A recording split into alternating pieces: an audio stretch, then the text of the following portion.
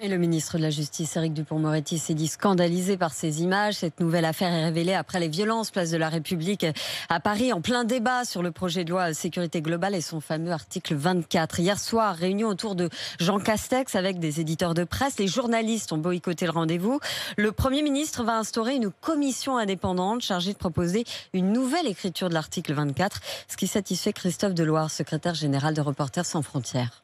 Jean Castex a dit euh, si on me fait la démonstration que ce texte euh, n'apporte rien pour la protection des policiers, je, mon but sera atteint. Sous-entendu, mon but c'est de protéger les, policiers et euh, je ne tiens pas absolument à cet article. Moi, c'est ce que j'ai compris. Il y a quand même là une forme d'ouverture. C'est un, pas en avant. Le ministre n'a pas accédé à notre demande qui est de supprimer l'article 24, en tout cas pour l'instant. Mais on pense que la démarche qu'il a ouverte devrait finir par supprimer l'article proche de, de la rédaction d'aujourd'hui.